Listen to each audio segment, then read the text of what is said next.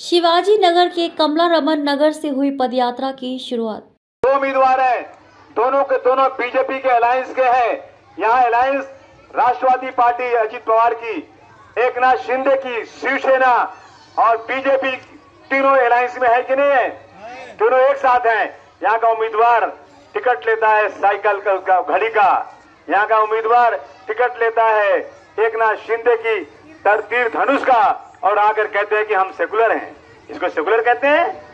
ये सेकुलर है? 101 परसेंट।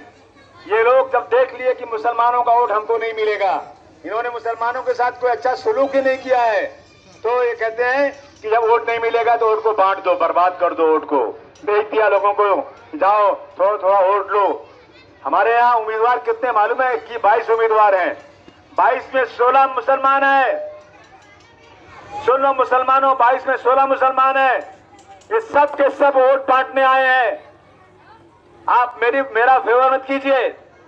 मुझे बिल्कुल से, आप ईमानदारी से बताइए कि मैं तीन बार चुन कर आया हूँ।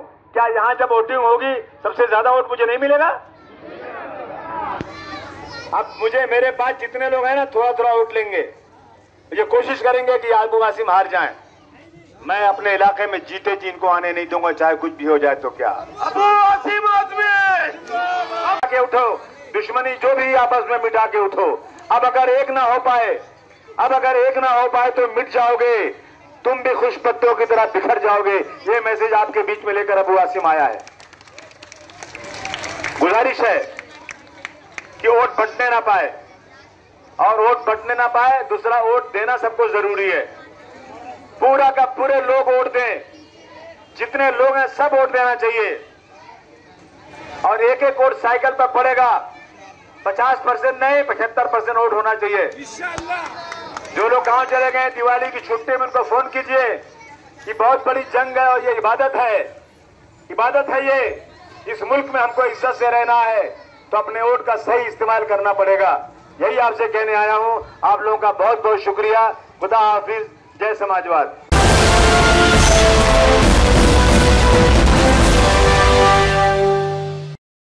मानखुर्द शिवाजी नगर विधानसभा से महाविकास आघाड़ी, सपा के उम्मीदवार अबू आसिम आजमी ने पदयात्रा की शुरुआत शिवाजी नगर के कमला रमन नगर से की है। इस मौके पर काफ़ी संख्या में लोग मौजूद रहे। वहीं अबू आसिम आजमी ने लोगों से ये कहा कि लोग अपने मत का प्रयोग करें और वोटों को बिखरने ना दें। इस मौके पर अबू आजमी ने जीप पर सवार होकर लोगों का हाथ जोड़कर अभिवादन किया। आज हम शिवाजी नगर के कमला रामन नगर में हम ये स्थिति हम आपको दिखाना चाहेंगे आज अबू आसिम आदमी। क्योंकि यहाँ के लोकप्रिय विधायक है लगातार तीन बार इस क्षेत्र से विधायक रह चुके हैं। आज पहली बार पद यात्रा की शुरुआत की जा रही है। इस मौके पर तमाम भीड़ यहाँ दिखाई दे रही है। हम आपको दिखाना चाहेंगे किस तरीके से ढोल और नगारों के बीच अबू आसिम आदमी का स्वागत किया जा रहा है। लगातार एक चर्चित विधायक रहे हैं, वही हम आपको बताना चाहेंगे समाजवादी पार्टी की।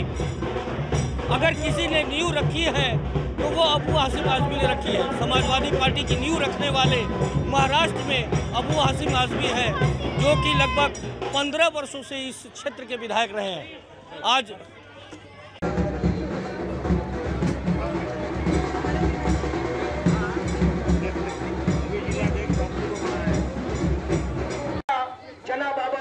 आसिम आजमी साहब आ चुके हैं। हम सना हम तमाम लोगों का जन, आइए सर। ये वो इलेक्शन है जो कानून बनाता है।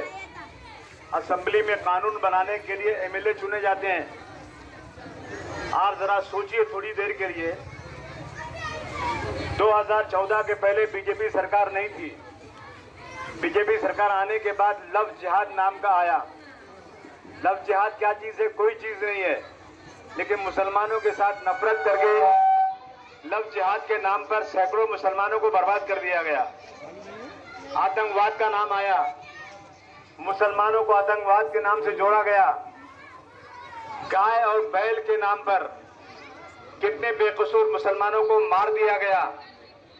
मुसलमान लड़कों को पकड़कर मार मार के पेशाब पिलाया गया। उनके मुँह में गोबर डाल के गोबर खिलाया गया। इसके पहले कभी सुना था आपने ये बात? क्या आपने कभी सुना था कि इस हिंदुस्तान में जिसके लिए हमारे पुरखों ने अपनी जान दे दी, जिस हिंदुस्तान को आज़ाद करवाने के लिए लाखों मुसलमान शहीद हो गए, उसी मुल्क में हमें आतंकवाद का तोहफा दिया जा रहा है। उसी मुल्क के अंदर एक कानून बनाया जा रहा है कि एनआरसी के ज़रिए हम चेक करेंगे। कि तुम्हारे दादा और तुम्हारे दादा के अब्बा कहाँ के रहने वाले थे?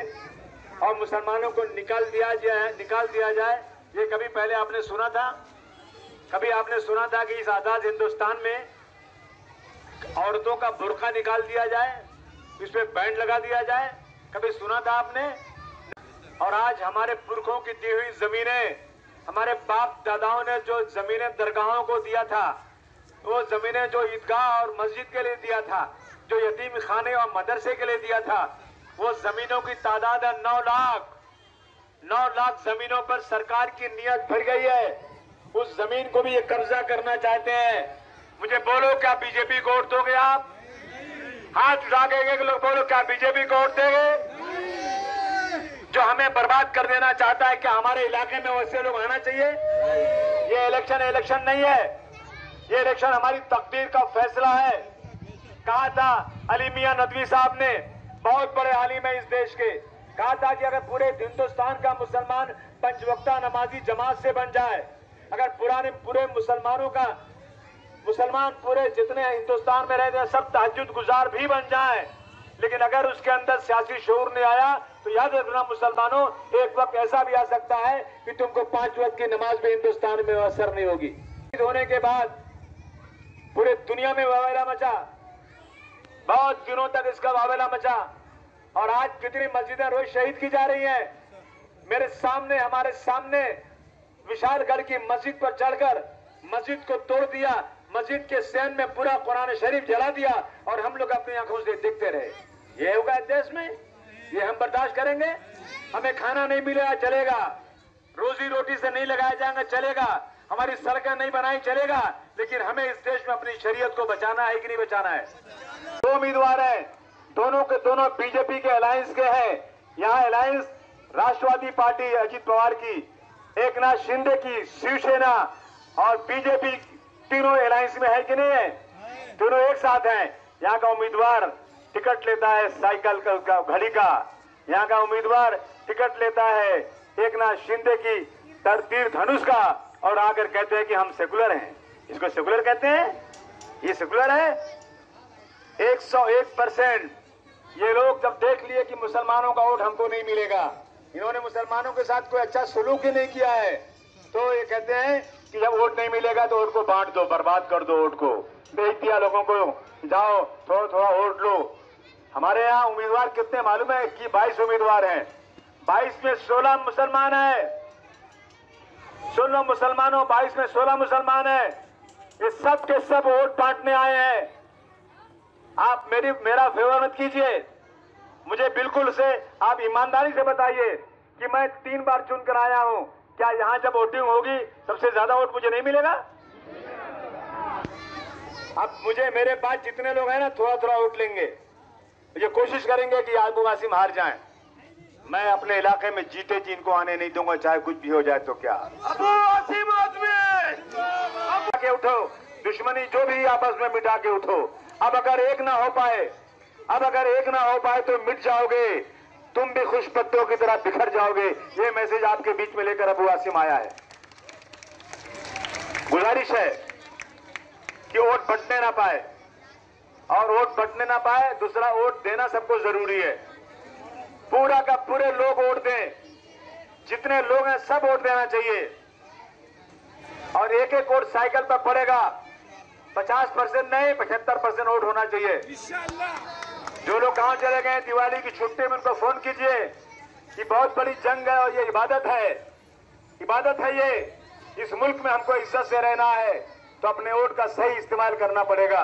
यही आपसे कहने आया हूँ। आप लोगों का बहुत बहुत शुक्रिया। खुदा हाफिज। जय समाजवाद। कटवा आ रहे हैं बहुत बहुत शुक्रिया देखिए हेलो हेलो। साथियों, हमारे बीच जनाब अबू आसिम आजमी साहब, आपके प्यारे लीडर एमएलए जनाब अबू आसिम आजमी साहब आए हैं।